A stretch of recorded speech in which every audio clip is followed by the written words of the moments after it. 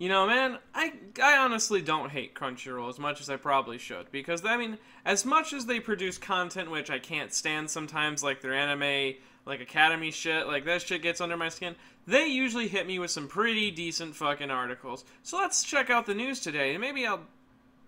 Oh. Oh no. Oh no, don't tell me.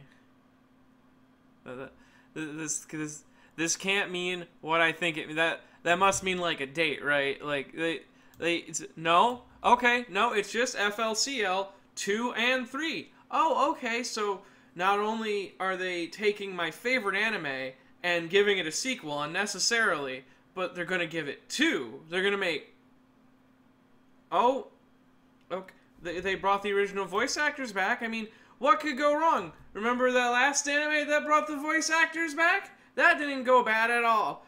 Oh, I mean, like, we we got a summary of what this new new one's gonna be about. So I mean, let's check it out a little bit.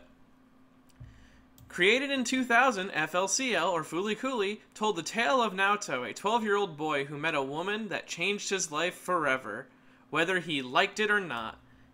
In the new season of FLCL or Fooly Cooly, many years have passed since Naoto and Haruhara Haruko shared their adventure together. Meanwhile, the war between the two entities known as M- Medical Mechanica.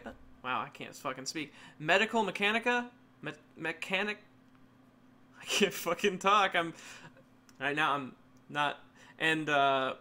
Fraternity. I. Fraternity? Yeah, I think that's what it's.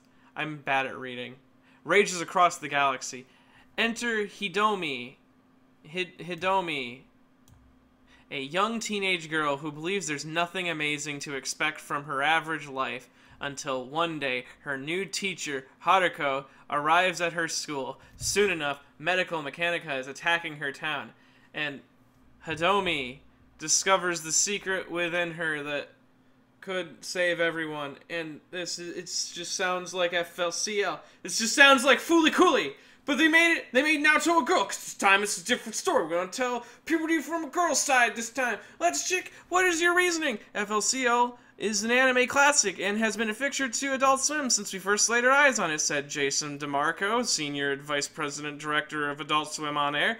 I'm beyond thrilled to produce a sequel with the original creators for Toonami, where it belongs. Fuck you, dude. This is gonna be a fucking dumpster trash. I'm so fucking. Ooh, my favorite anime. I don't care what anyone says fucking I'll still shim it at every single day, but FLCL is like the greatest fucking thing ever made, and it didn't need a sequel. It was a complete story. You didn't need to bring anything back. Oh, look at all this shit. Oh, why did she come back to Earth? Because they needed a sequel. Uh, what happened to the Rickenbacker? Ah, uh, doesn't matter. They probably won't even address it. Oh, where the human type robot Canti go? Didn't even know he disappeared. I, I think they were talking about that, but I'm pretty sure it became the fucking Pirate King and then disappeared. It didn't matter because it wasn't about the actual medical mechanica in the fight. It was a it was a tale of puberty. It was a really interesting fucking twist. The original creators were asked right after they produced the new one if they wanted to produce anything else. I fucking and they said no. I can get you, I'll look for the interview where they where they talked about being turned down?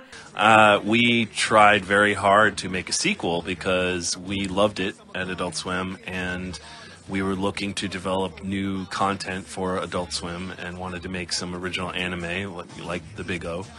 And so Fooly Cooly was one we pushed really hard. Uh, all the people involved, we approached several times with vast sums of money.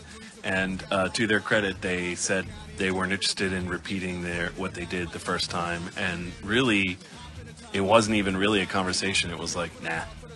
So um, um, that's to their credit. But yeah, I don't think there's going to be a Fooly Cooly sequel. And I guess they fucking finally like squirmed their way into the point where they got him to say yes because who the because everyone wants Fooly Cooly 2. Everyone needs Fooly Cooly 2. Fooly Cooly did not need a sequel, did not need two sequels. This is the shit that really triggered me. This is why I'm making this fucking thing. Because uh, if there is going to be two fucking sequels to Fooly Cooly, I want to throw myself down the biggest flight of stairs fucking possible.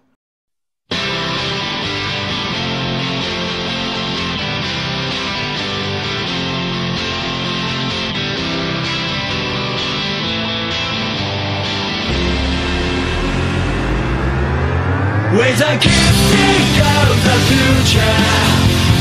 Kids don't need the